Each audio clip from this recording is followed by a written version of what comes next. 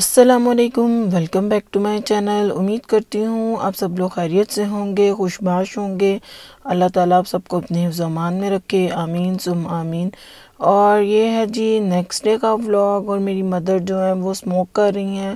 کوئلے کا اور یہ اس میں انہوں نے گوگل ہرمل اور لبان ڈالا ہے، جس کا وہ سموک کر رہی ہیں۔ تو اس سے یہ ہے کہ جی جو بیماریاں ہیں اور جو جمز وغیرہ ہیں، وہ گھر سے ختم ہوتے ہیں اور یہ ہربل فارمولا ہے۔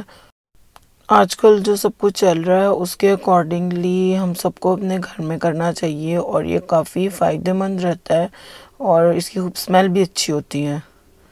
اور یہ جی اورنجز لے کر آئے تھے ہم لوگ، باہر گئے تھے تو تو آپ کو پتہ ہوگا کہ وائٹامنز وغیرہ زیادہ لینے چاہیے، جو وائرس پھیل چکا ہے اس کے اکارڈنگ تو اورنجز کا جوس زیادہ سے زیادہ پئیں پلیز اور جی یہ پھر منگوائے تھے ماسک اور یہ ہمیں ملے ہیں جی ایک ہزار پچاس روپے کے ٹوینٹی ماسک ملے ہیں اور اتنے پتلے سے اور یہ لگاتے ساتھ اس کی پن ٹوٹ جاتی ہے اور تھوڑی دیر بعد ہی کسی کام کے نہیں رہتے اور یہ بچوں کے دو تین ماسک دیے تھے انہوں نے یہ تو ایسے تھا جیسے کوئی بیب ہوتی ہے، بالکل کام کے نہیں تھے، پیسے اور اتنے پیسے ویسٹ ہو گئے نا تو دل خراب ہو رہا تھا کہ دیکھو، لوگ ابھی بھی لوگوں کی مجبوریوں سے کھیل رہے ہیں، اتنی بری سچویشن ہے اور اتنے مشکل حالات ہیں جس میں لوگوں کو توبہ کرنی چاہیے اور اپنے گناہوں کی توبہ کرنی چاہیے۔ لوگ پھر بھی ایک دوسرے کی مجبوریوں سے فائدہ اٹھا رہے ہیں اور نہ کہ لوگوں کی ہیلپ کریں لوگوں کو پریشان پریشان کر رہے ہیں لوگوں کو۔ اور یہ جی دال بن رہی تھی، گھوٹویں دال جو ہوتی ہے مدر کی طرف ہی ہوں میں، تو وہاں پر پھر سب نے کہا کہ دال بنا لیتے ہیں۔ تو یہ گھوٹویں دال بنا رہی ہوں چکن اور وہ ڈال کے۔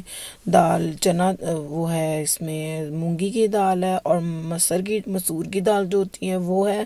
اور بس سمپل اس میں مسالہ بھون کے، چکن ڈال کے۔ تو اس میں دال ایڈ کی ہے اور یہ پک پک چکی ہے بس۔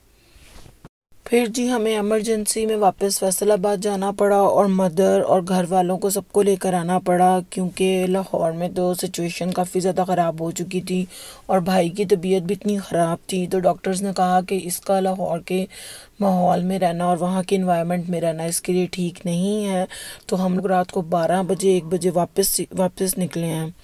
اور راستے میں اتنا رش تھا، اتنا رش تھا کہ لوگ بیچارے روڈز پہ کھڑے ہیں کنٹینرز میں لفٹ مانگ رہے ہیں اور کافی لوگوں نے ہم سے بھی لفٹ مانگی پر ہماری گاڑی آلریڈی فل تھی اور راستے میں پھر ایک دم اتنی تیز بارش سٹارٹ ہو گئی اور تین چار کلومیٹر کے بعد جا کے بارش رک گئی۔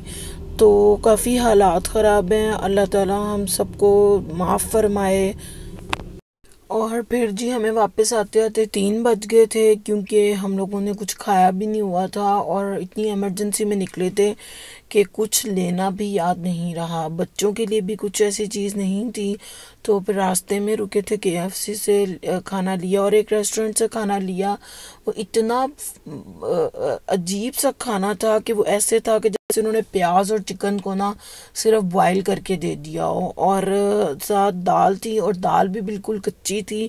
پھر سب نے کہا کہ ہم نہیں کھائیں گے کیونکہ وہاں پہ ڈائن ان نہیں تھا ٹیک اوے تھا اور گاڑی میں بیٹھ کے کھانا بہت مشکل تھا۔ پھر اس کے بعد میں کے ایف سی پہ گئی، وہاں سے جا کے سب کے لیے برگرز لے کر آئی، بچوں کے لیے میلز لیے، وہ کھائے اور اس کے بعد ہم لوگ راستے واپس نکلے اور آتے آتے ہمیں تین، ساڑھے تین بج گئے تھے۔